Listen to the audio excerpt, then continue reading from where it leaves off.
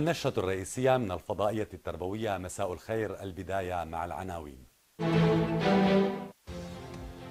اختتام مباريات البطولة المدرسية المركزية بلعبة كرة الطاولة في مدينة تشرين الرياضية بمحافظة دمشق. انطلاق المخيمات الشبيبية التربوية في محافظتي حماة والسويداء. هيئة التميز والإبداع توضح شروط التقدم للدراسة في المركز الوطني للمتميزين.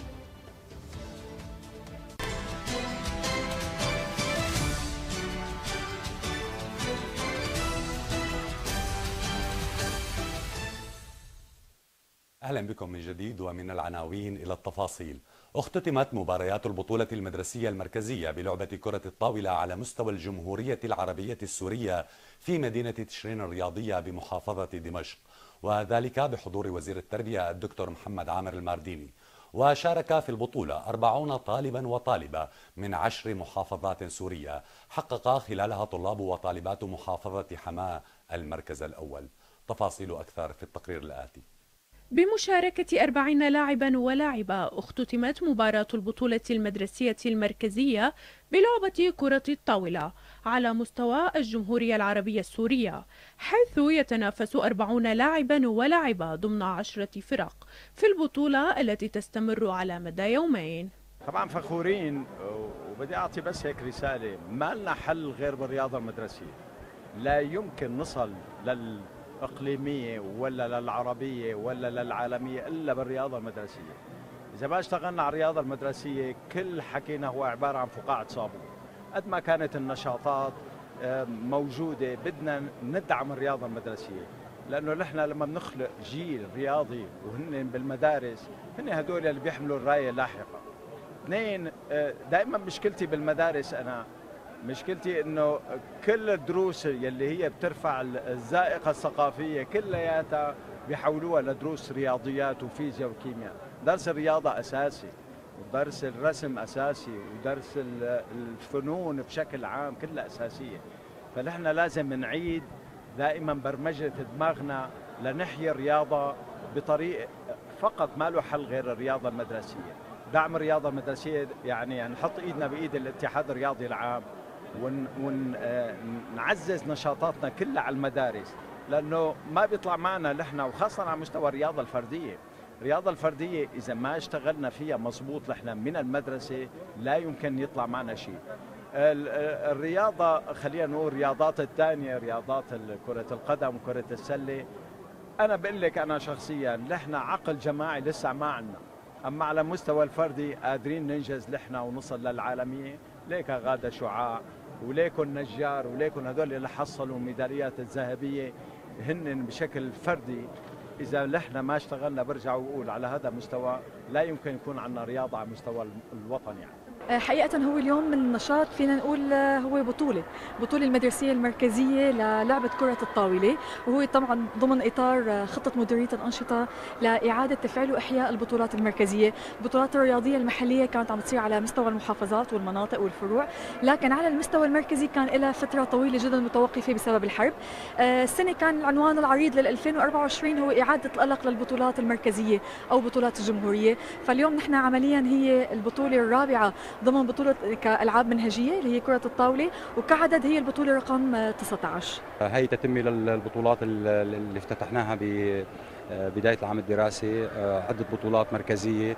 الغاية والهدف منها الأساسيين. أول شغلة انعاش الكوادر. إعادة القلق للرياضة المدرسية ل طلابنا نرجعهم لجو المنافسات جو البطولات تحضيرا للبطولات الأعلى البطولات العربية إن شاء الله العام القادم. هلا من فترة آه، هي باكوره البطولات المدرسية طبعا ضمن خطة نشاط الوزارة لتنفيذ البطولات الرياضية المدرسية. آه، شاركت طرطوس وكانت يعني إن شاء الله آه، مشاركة كثير جيدة. اخذنا المراكز الأولى. فرصة كثير جميلة فرصة كثير سعيدة وحتى يعني تعبر إنه نحن لسه قادمات اليوم تكون أمورنا لسه افضل وبذلك يكون عدد البطولات المدرسية المركزية المقامة حتى تاريخه من العام 2024 قد بلغ 19 بطولة رياضية لمختلف المراحل العمرية ولأربع ألعاب رياضية هي الجمباز الفني والإيقاعي والريشة الطائرة والشطرنج وكرة الطاولة. انطلقت فعاليات المخيم التربوي الشبيبي في محافظة السويداء الذي تقيمه مديرية التربية وفرع اتحاد شبيبة الثورة وذلك بمشاركة نحو 150 يافعا وشابا من مختلف مناطق المحافظة. ويتضمن المخيم الذي يقام على مدار الأسبوع الحالي في ثانوية شكيب أرسلان في المدينة نشاطات ترفيهية وفنية وشعرية ورياضية وورشات مهارات حياة وتدريبات على الإسعافات الأولية والدفاع المدني. ورحلة ترفيهية. وأشارت مديرة التربية المساعد لشؤون التعليم الثانوي لينا حمزة إلى أهمية المخيم لرعاية مواهب الطلاب وممارسة نشاطات مختلفة وتوجيههم نحو العمل المنظم.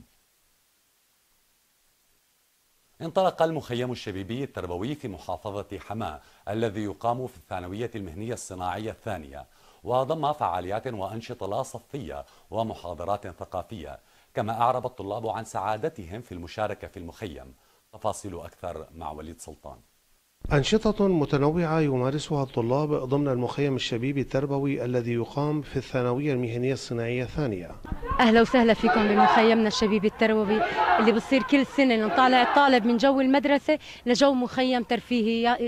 يعمل فيه نشاطات مختلفة هواياته ينمي هواياته مع قليل من حركات التدريب النظام المنضم. آه هذا الشيء طبعا بينمي مواهبهم وكان بالاشتراك مع اتحاد شبيبة الثورة ومديرية التربية في حماه ودائره الجاهزية. أعرب الطلاب عن سعادته في المشاركة في المخيم حيث فعاليات وأنشطة ولا صفية ومحاضرات ثقافية وصحية تزيد من معارفهم نحن اليوم مجتمعين مع أصدقائنا في في المعسكر ويوجد العديد من النشاطات المختلفة الجميلة والرائعة جدا. المعسكر نحن ورفقاتنا كثير مبسوطين بالنشاط. انه مبسوطين كثير ومعسكر إنه عم بيدربونا على كثير أشياء حلوة. لا أجواء حلوة وهيك كمان إنه نشاط إنه نحن نعمل شيء جديد علينا.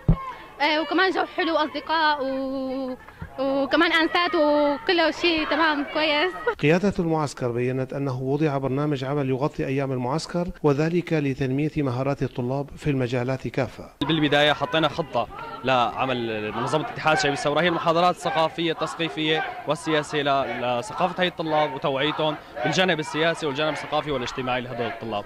هون كثير مبسوطين عم نعلمهم النظام المنظم عم نعلمهم بدايات من تقريبا من الصفر لتعلم حركات جندي الاعزل استارح استاعد عم نعلمهم المسير استعدادا للبيان الختامي اللي هو العرض والاستعراض. وبإذن الله كثير مبسوطين الطلاب وكثير مجتمعين وهون كله أخوة وتعاضد بين مشرفات الجاهزية وبين مدرسات الرسم رياضة. هذا وتستمر فعاليات وأنشطة المخيم لمدة عشرة أيام حيث تختتم ببيان فني ومعرض من نتاجات الطلاب المشاركين وليد سلطان الفضائية التربوية حما. يستعد المركز الوطني للمتميزين بمحافظة حمص لاستقبال باقة متنوعة وجديدة من متفوقي شهادة التعليم الأساسي للدراسة به للعام الدراسي 2024-2025 وحددت هيئة التميز والإبداع في إعلانها شروط التقدم للطلاب السوريين. ومن في حكمهم الحاصلين على شهادة التعليم الأساسي من المدارس السورية لدورة عام 2024 للدراسة بالمركز. ومنها ألا يتجاوز عمر الطالب 16 عاما بتاريخ الأول من تشرين الأول القادم. وألا يقل معدل الطالب في شهادة التعليم الأساسي عن 90% وذلك بعد تثقيل مادتي الرياضيات والعلوم فيزياء وكيمياء وعلوم طبيعية حيث تضرب علامة الطالب في هاتين المادتين باثنين ثم يحسب المعدل النهائي أي ما مجموعه 3690 من أصل 4100 درجة. يشارك طلاب الأولمبياد العلمي السوري في أولمبياد الكيمياء العالمي لعام 2024 الذي يقام في المملكة العربية السعودية ما بين الحادي والعشرين والثلاثين من تموز الجاري. وذكرت هيئة التميز والإبداع في بيانها أن الفريق السوري المشارك يضم أربعة طلاب هم فاطمة يوسف حسن من محافظة دمشق وسلمى عبد الناصر عمران من محافظة حمص وعلاء أحمد أذان من محافظة دمشق وعمرو عادل الباروكي من محافظة السويداء وذلك بإشراف اللجنة العلمية لاختصاص الكيمياء في هيئة التميز والإبداع. ننتقل إلى أخبار الرياضة مع الزميل يزن سيفو. مساء الخير مساء الخير مجد. يسعد أوقاتك. يسعد أوقاتك. مشاهدينا جولة رياضية سريعة ولكن بعد الفاصل.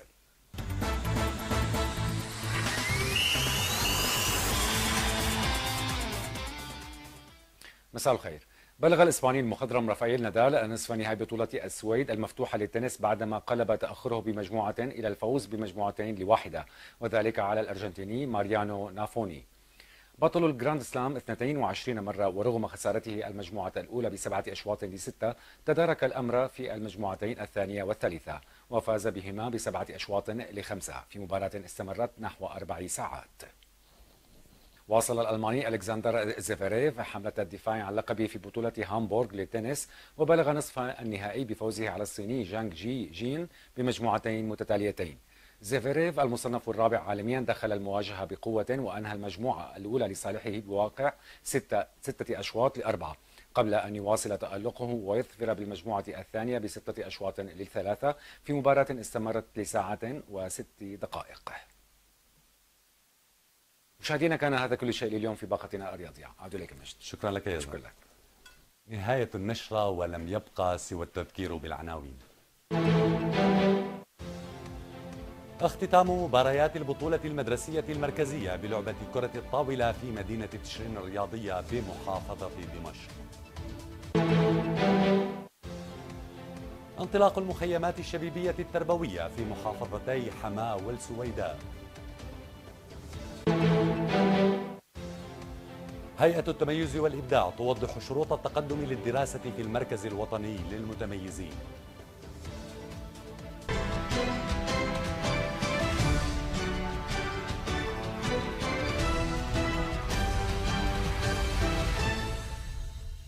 كان هذا كل ما لدينا. لمزيد من الأخبار زوروا صفحة الفضائية التربوية على الفيسبوك.